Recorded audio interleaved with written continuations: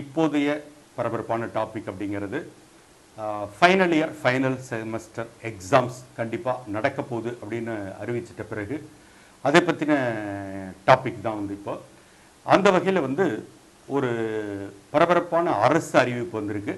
அரசு அறிவிப்புன்னு சொல்லும்போது இது வந்து தமிழ்நாடு அரசு அறிவிப்பு இல்லை மத்திய அரசோட அறிவிப்பு. அதுவும் வந்து கல்வி அமைச்சகத்திலிருந்து வரல சுகாதாரத்துறையிலேருந்து வந்திருக்கிற அறிவிப்பு.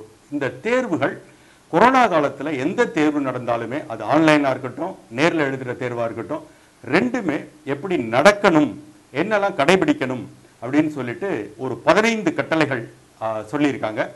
அதை நான் உங்களுக்கு இப்போ விரிவாக நான் சொல்ல போகிறேன் ஃபஸ்ட்டு வந்து ஒரு இன்ட்ரெஸ்டிங்கான கட்டளையை சொல்லிடுறேன்.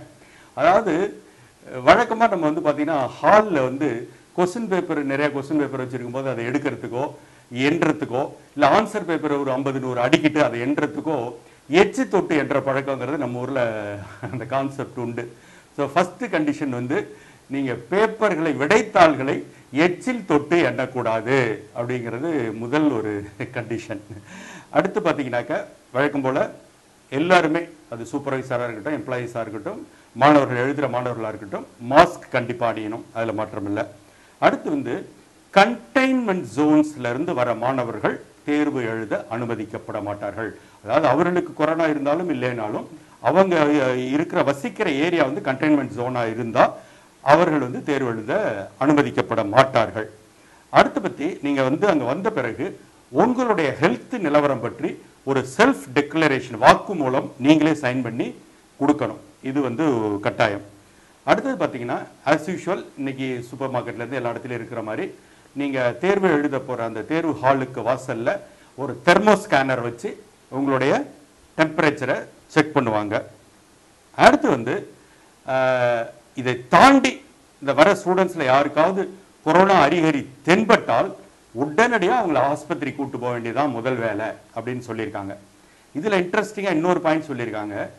அந்த மாதிரி அறிகுறி தென்பட்ட பிறகு நீங்கள் ஆஸ்பத்திரிக்கு போகணும்னு சொன்ன பிறகு அந்த ஸ்டூடெண்ட் வந்து இல்லை நான் இன்னைக்கு கண்டிப்பாக எக்ஸாம் எழுத விரும்புறேன் நான் அந்த எக்ஸாமை மிஸ் பண்ண மாட்டேன் அப்படின்னு உறுதியாக இருந்தாங்கன்னாக்க நீங்கள் உடனடியாக அவர்களுக்கு ஒரு தனி அறை ஏற்பாடு பண்ணி கொடுக்கணும்.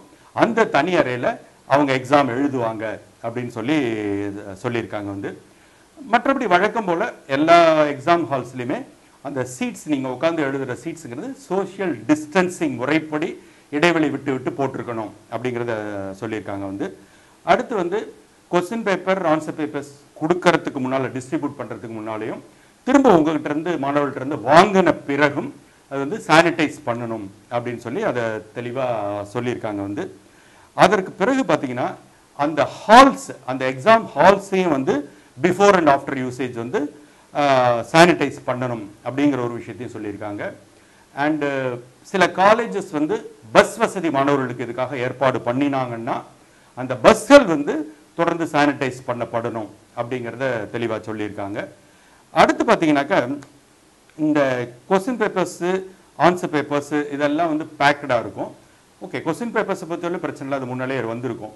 ஆன்சர் ஷீட்ஸ் வந்து ஒரு ஹாலில் எழுதின பிறகு பேக் பண்ணிடுறாங்க. இது திரும்ப வேல்யூஷனுக்கு எங்கேயாவது போகும். அந்த மாதிரி போகும்போது 72 டூ ஹவர்ஸ் கழித்து தான் அதை திறக்கணும் அப்படின்னு சொல்லிட்டு ஒரு கண்டிஷன்ஸ் வந்து போட்டிருக்காங்க வந்து. மற்றபடி இந்த வயதானவர்கள் கர்ப்பிணிகள் நோயாளிகள் இவர்களை வந்து எக்ஸாம் டியூட்டியில் அது வந்து மேற்பார்வையாளர் இருக்கலாம் ஸ்டாஃபாக இருக்கலாம் அவர்களை வந்து எக்ஸாம் டியூட்டிக்கு கண்டிப்பாக பயன்படுத்தக்கூடாது அப்படின்னு சொல்லி ஒரு கண்டிஷன் சொல்லியிருக்காங்க வந்து. அடுத்ததாக பார்த்தீங்கன்னா சில தேர்வு எல்லாமே நேரில் எழுதுகிற தேர்வுகள் கிடையாது. சில தேர்வுகள் ஆன்லைன் தேர்வுகளும் இருக்குது பட் இந்த ஆன்லைன் தேர்வுகள் பெரும்பாலும் ஒரு குறிப்பிட்ட சென்டரில் போய் எழுதுகிறாங்க அந்த மாதிரி இருக்கிற சூழ்நிலையில் அந்த அவங்க பயன்படுத்துகிற கம்ப்யூட்டரை வந்து பிஃபோர் அண்ட் ஆஃப்டர் சானிடைஸ் பண்ணணும் அப்படின்னு சொல்லி சொல்லியிருக்காங்க.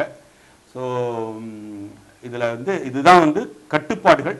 பட் இதில் இந்த சானிடைஸ் சானிடைஸுங்கிறது தான் பல நேரங்களில் ஆன்சர் பேப்பரை இதெல்லாம் எப்படி சானிடைஸ் பண்ணுவாங்கன்னு சொல்லிட்டு ஏதாவது நம்ம எழுதின பேப்பரில் எதையாவது தெளிச்சு விட்டுறக்கூடாது. அது ஒன்று தான் பயப்படணும்.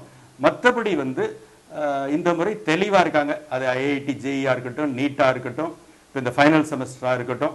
இந்த சூழல்லையும் நீங்கள் எழுதி தான் தீரணும் அப்படிங்கிறத தெளிவாக இருக்காங்க. ஸோ நம்ம வந்து அதுக்கு எழுதி தான் ஆகணும் வேற வழி இல்லை. ஸோ இந்த கட்டுப்பாடுகள் நீங்கள் மனசில் வச்சுக்கோங்க. அவ்வளோதான் வேற ஒன்றும் இல்லை. மற்றபடி தைரியமாக உங்கள் எக்ஸாம்ஸ் எழுதுங்க. ஆல் தி பெஸ்ட் வாழ்த்துக்கள். இந்த வீடியோவை உங்களுடைய நண்பர்களுக்கு ஷேர் பண்ணுங்கள் அவங்களும் பயன்பெறட்டும். இது வரைக்கும் டைப்ஸ் ஆஃப் கேலக்ஸி சப்ஸ்கிரைப் பண்ணலைன்னா உடனடியாக சப்ஸ்கிரைப் பண்ணுங்க.